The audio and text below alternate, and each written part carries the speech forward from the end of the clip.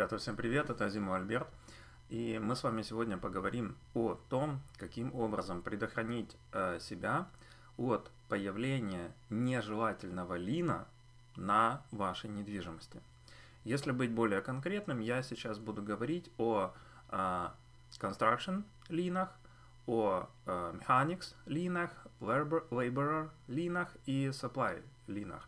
Не переживайте, если вы слышите впервые эти слова, мы разберем в процессе сегодняшнего занятия.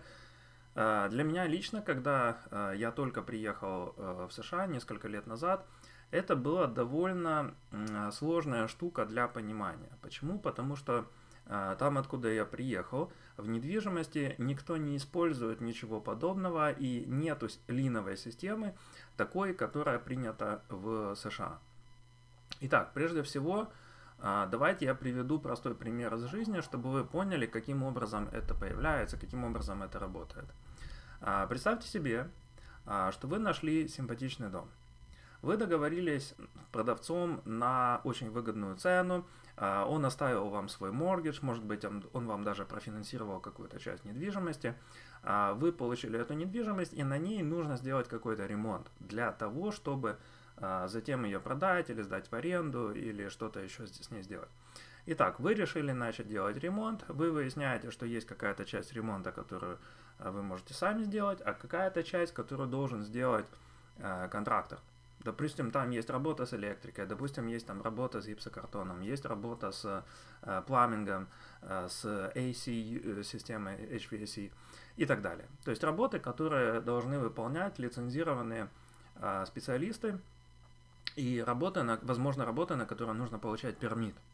А, для того, чтобы это а, сделать, вам нужно нанять человека или даже нескольких людей, и его обычно называют контрактор.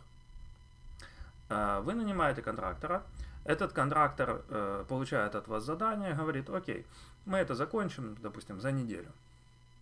Стоить это будет, ну, ориентировочно вот такую-то сумму. Проходит неделя, работа не закончена.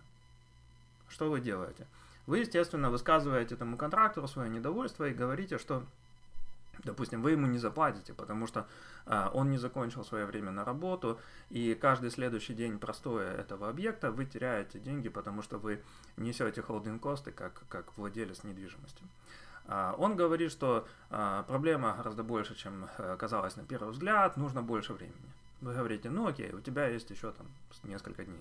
Проходит еще несколько дней, работа по-прежнему не закончена. То есть это довольно типичная ситуация на стройке, когда э, вы э, хотите, чтобы все сделалось быстро и дешево, а оно делается намного дольше и намного дороже. Вам нужно гораздо больше э, денег для того, чтобы закупить какие-то материалы, какое-то взять оборудование в аренду, э, возможно, нанять дополнительных людей. И когда вы оказываетесь вот в центре вот этого всего бардака, а, то вы обнаруживаете, например, что у вас есть разница в взглядах на то, как что-то должно делаться, ну, как бы на вашем объекте. А, и в один прекрасный момент, допустим, вы решаете, что вы увольняете этого контрактора и нанимаете другого, который, который вам может это сделать быстро и дешево. Окей, первого, вы нань, э, первого человека вы ему что-то заплатили, уволили его, наняли второго, второй вам закончил работы, вы заплатили второму, проходит еще несколько недель, ваш прекрасный дом стоит на продаже, а, получаете офер от покупателя, а, документы идут на клозинг, и перед самым клозингом выясняется, что Title Search, который сделала компания покупателя, title агент покупателя, Title Search показывает, что на вашей недвижимости есть лин на, допустим, 12 тысяч долларов. Так называемый э, Construction Lien или Mechanics Lien. И э, этот лин должен быть погашен, естественно, вами, потому что покупатель, он никакого отношения к этому не имеет, а вы тот, кто э, имеет этот лин на недвижимости, и для того, чтобы недвижимость была продана, данный лин должен быть закрыт. Э, для вас это прямой убыток. Вы не предполагали кому-то платить эти деньги. Вы вообще-то собирались заработать на этой недвижимости. Но после того, как произойдет клозинг, будут выплачены все деньги, будет закрыт этот лин, а вам, возможно, остается даже не прибыль, а может быть даже минус. Так вот, Я сегодня хочу рассказать вам, как не попадать в эту ситуацию. Потому что как только вы нанимаете на свой э, проект, на свой констракшн э, маленького контрактора или большого контрактора, не имеет значения, если вы не умеете правильно э, обращаться с наемной рабочей силой, вы очень легко можете получить проблему, которая выразится в том, что вам нужно будет выписать чек на closing е для того, чтобы закрыть эту финансовую проблему, закрыть этот lien. Потому что если вы не закрываете этот lien или финансовое обременение, другими словами, вы не можете передать чистый title э, вашему покупателю. А без чистого title а ваша недвижимость никому не нужна. Итак, поехали. Сейчас я хочу показать сначала определение, что такое э, lien ы. Окей, я здесь открыл э, скриншоты, которые я сделал из э, Real Estate Dictionary, чтобы у вас было ну, объяснение от первоисточника. А я для начала э, объясню, как я это понимаю. Итак, лин это э, любая, любое финансовое обременение, которое закреплено против недвижимости. Обычно он находится в Public Records, и там он может быть найден, если вы правильно умеете делать Title Search, и э, либо кто-то для вас делает Title Search. Обычно все лины всплывают, как только это, э, эту процедуру вы производите. А, есть очень э, много ну, как бы типов линов. Как правило, мы говорим о финансовых линах, то есть mortgage. Но в сегодняшнем занятии мы поговорим о линах, которые кто-то может поставить на вашу недвижимость без вашего согласия. Это э, Construction Lean, справа внизу вы можете видеть. Э, это Mechanics Lean, и это Laborer Lean, и это Supplier Lean. Итак, давайте по порядку. Construction Lean. Как он может образоваться? Если вы не заплатили какую-то сумму какому-либо контрактору, которого вы нанимали на работу. А, вам, наверное, может показаться, что основанием для того, чтобы этот контрактор поставил лин на вашу недвижимость, может служить только письменный контракт. Я проверил эту информацию, на самом деле нет. Есть только 4 штата в США, где письменный контракт обязателен для того, чтобы какой-то контрактор поставил лин на недвижимость своего заказчика, своего нанимателя. Во всех остальных штатах в США достаточно устного агримента, то есть, другими словами, вы попросили какого-то а, Петровича, сделай мне какую-то работу, Петрович а, начал делать и пропал. И вы думаете, ну пропал и черт с тобой. Вы наняли другого, другой человек вам эту работу сделал, а потом выясняется, что Петрович поставил на вашу недвижимость лин – потому что вы в устной форме наняли его на работу, и вы ему не заплатили на работу. И он считает, что вы ему должны, например, 3000 долларов. Потому что вы наняли его сделать painting, а, а потом другой человек сделал этот painting, и когда э, Петрович появился, он выяснил, что он уже не нужен, и он думает, а ну так, раз я не нужен, но я хотел бы получить деньги, а вы ему не заплатили, потому что, естественно, он не сделал работу. Э, это обычное нормальное недопонимание между заказчиком и нанимателем, но в Америке права э, контракторов, они защищаются вот таким вот образом. То есть есть э, юридическая возможность, чтобы контрактор пошел в court office, court house, и заполнил простую бумагу и поставил лин на вашу недвижимость. Ему это не стоит практически ничего, но для вас это будет финансовая проблема, которую вы не можете убрать с вашей недвижимости. Э, я вам скажу в конце занятия, каким образом предохранить себя от того, чтобы эти лины не появлялись на вашей недвижимости. Итак, первое это э, construction lien. Construction lien наиболее часто появляется, может, в тех ситуациях, когда Э, компания, которая строит недвижимость, недополучила денег от заказчика, либо э, контрактор, которого вы наняли выполнить какие-то работы, не получил оплату, либо получил, но не все. Это наиболее типичная причина, почему construction лины появляются на недвижимости. Второй тип линов э, это э, mechanics лин. Справа э, вы видите определение, что это такое – Э, это лин, который может появиться на недвижимости, если вы не заплатили кому-то за его работу с землей или с недвижимостью, И его также называют material man's. Э, то есть э, человек предоставил э, рабочую силу или предоставил э, какие-то материалы. Например, э, древесину для стройки. И контрактор, который нанял этого поставщика, от вас деньги получил, но не рассчитался с поставщиком древесины, к примеру, да, или рассчитался, но не целиком. Стройка закончена, все разошлись. Так вот, этот поставщик строительных материалов, он может поставить лин на вашу недвижимость точно так же, как это мог сделать э, контрактор. Это обычная практика. Более того, смешно, что вы можете быть даже не знакомы с этими э, поставщиками или с этими сапплайерами, да, которых нанимал контрактор. Но, тем не менее, у них есть юридическое право поставить лин на вашу недвижимость, потому что они работали на, э, на то, чтобы обеспечить вашего контрактора строительными материалами либо рабочей силой. Поэтому вы должны понимать, как только вы пускаете в свой объект кого-то забить хотя бы один гвоздь, вы не можете это делать без правильно оформленных бумаг и правильного оформленного контракта. Если вы это делаете просто на устной договоренности, и вы думаете, что это, да ладно, это, никто не знает, о чем мы там договорились. Нет, это называется verbal agreement, и в Америке verbal agreement дает право э, любому человеку, которого вы наняли, даже если вы его наняли просто одну стенку покрасить, дает ему право поставить лин на вашу недвижимость. Окей? Давайте двигаться дальше.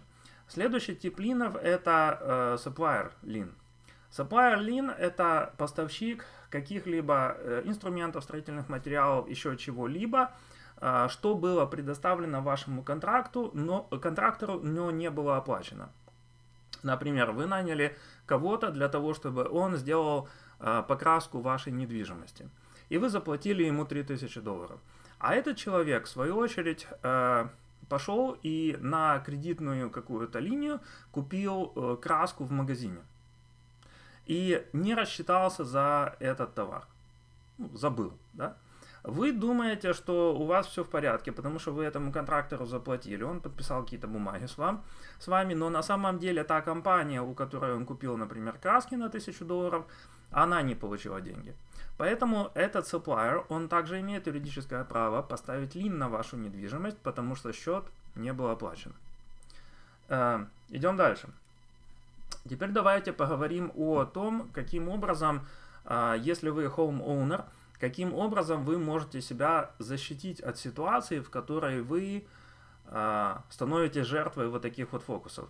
Естественно, вы понимаете, что некоторые лины, контракторы помещают на недвижимость справедливо, да, потому что им, им не заплатили за работу. Абсолютно справедливое требование получить деньги.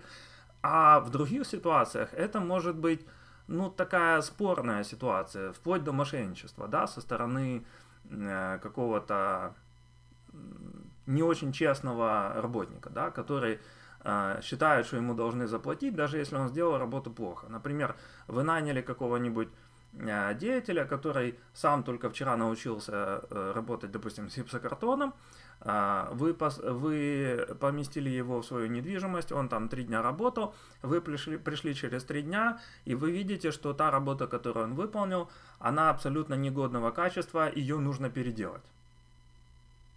Естественно, ваша реакция «я тебе не заплачу, я тебя увольняю, и я больше не хочу тебя видеть». Потому что вы понимаете, что вы потеряли время. Вы нанимаете другого, более профессионального контрактора. Более профессиональный контрактор делает свою работу, все хорошо. Но у того парня, которого вы уволили, он на вас зол, он считает, что вы ему должны заплатить, и он считает, что вы его уволили незаслуженно, и он 100% пойдет и поставит лин на вашу недвижимость. Для него это абсолютно легкий шаг.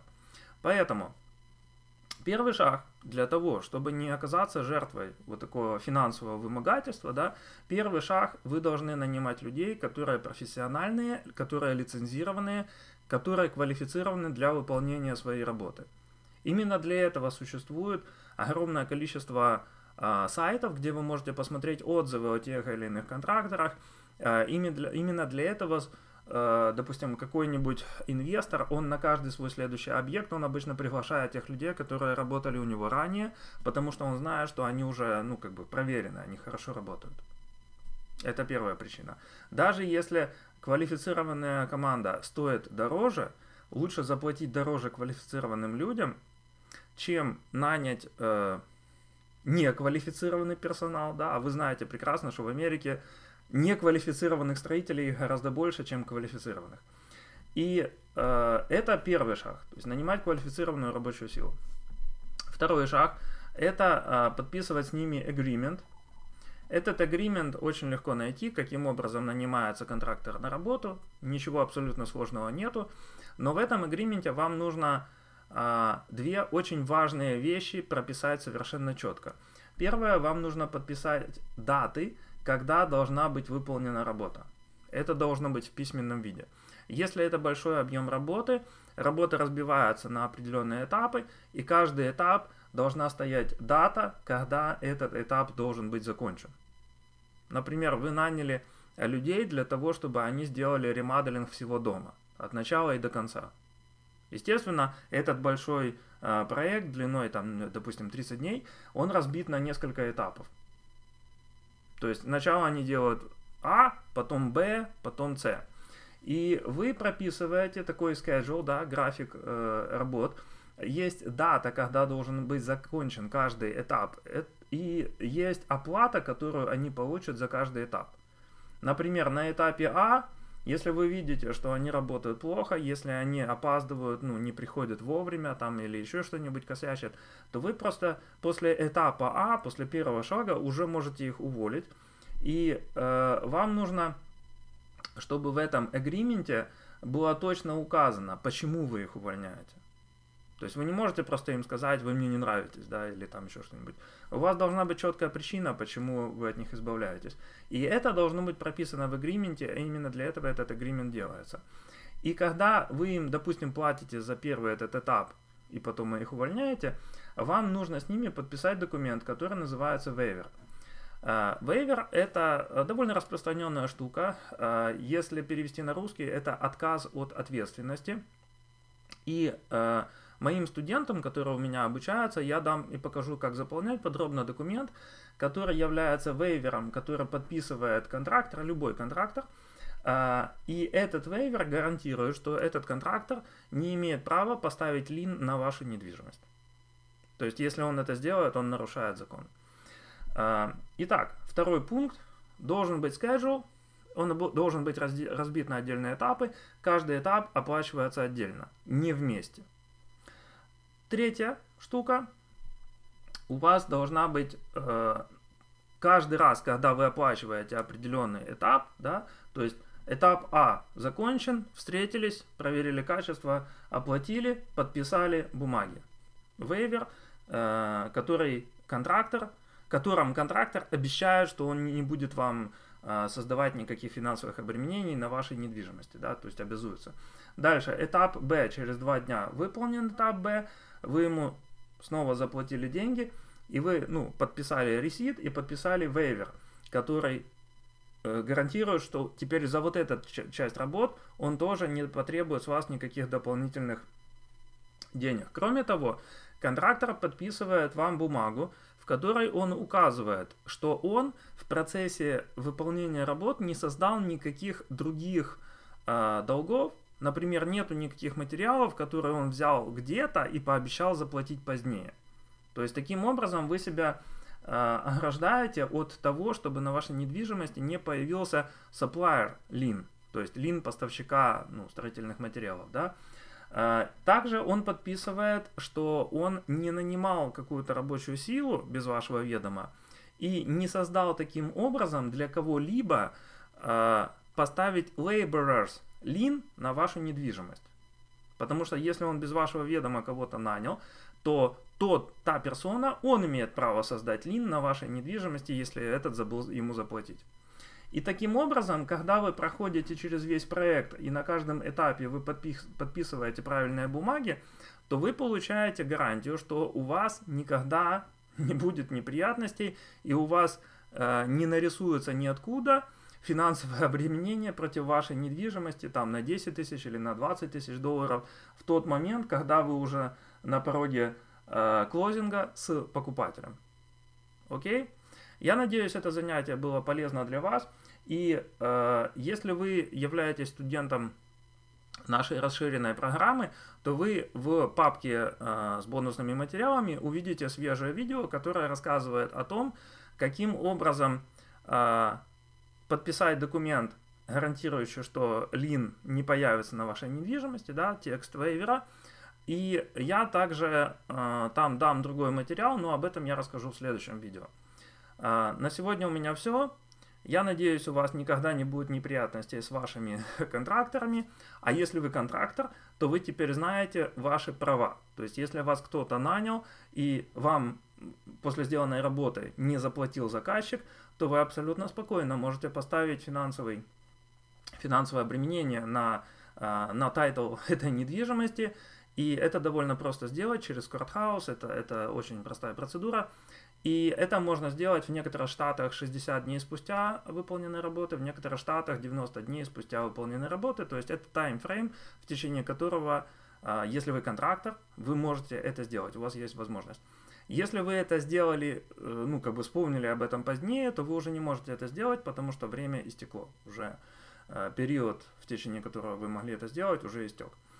И последнее э, напоминание для тех, э, тех студентов, которые покупают дома, которые, ну, вы знаете, что на этом доме, допустим, недавно делались какие-то там строительные работы, какие-то ремонты.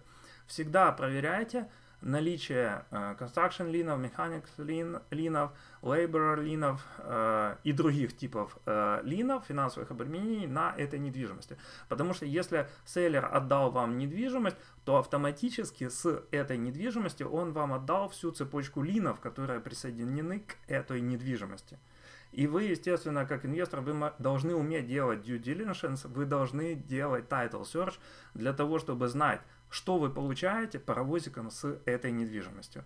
Если вы покупаете с аукционов, там гарантированно есть лины, гарантированно есть финансовое обременение, о которых вы не знаете. Поэтому это одна из причин, почему мы никогда не покупаем дома с аукционов. У меня все. Всем хорошего дня. И я вам желаю, чтобы у вас не было нежелательных линов на вашей недвижимости. Всем пока.